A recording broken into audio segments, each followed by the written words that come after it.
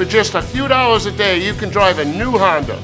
Accords and CRVs for just $7 a day. Pilots $11. And 2012 Civics for just $5 a day. Visit curryhondamass.com. Hey, it's video, video time.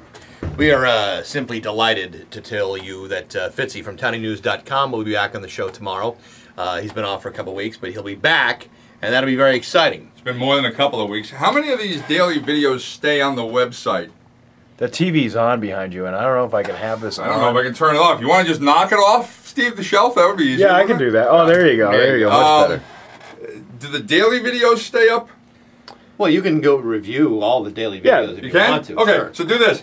Go back and review the last three or four Wednesday daily videos where we say, hey, tomorrow on the show is going to be Fitzy.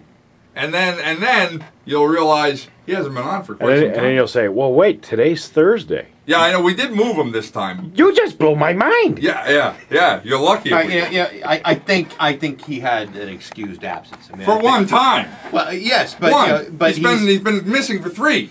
He was traveling the one week, then something happened the next week, then the next week he was he was recovering from what happened the week before, and now he Covering wants the to be week on. before. How long does it take to get over a hangover? It's more than a hangover, I can tell you that. And each time we thought he was going to be on 24 hours beforehand. It's Um, not like we knew ahead of time. Oh, he's not going to be on tomorrow. No. I'm not putting my. I'm not putting any money on. him. No, I'm going to put all my money on him. I'm sure he'll be back back on tomorrow because he wants to be. And the fans want him back. They Yeah? do, Well, Steve. they want the lyric quiz back too, but that ain't happening.